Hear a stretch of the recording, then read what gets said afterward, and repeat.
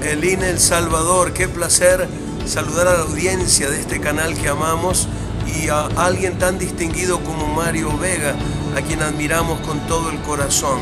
Les recordamos con mucho cariño y qué glorioso que tengan este canal. Hay que apoyarlo, hay que correr la voz para que mucha gente de este país querido lo pueda mirar y ser bendecidos con la programación. Adelante, adelante, el